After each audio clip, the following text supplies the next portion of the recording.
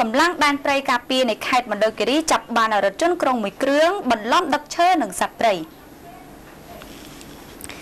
កម្លាំងស្នាក់ការណាមរាមដែនព្រៃការពីមណ្ឌលគិរីកាលពីព្រឹកថ្ងៃទី20កញ្ញាម្សិលមិញបានចាប់គាត់រថយន្តក្រុងមួយគ្រឿងដែលបន្លំលួចដឹកឈើនិងសត្វព្រៃ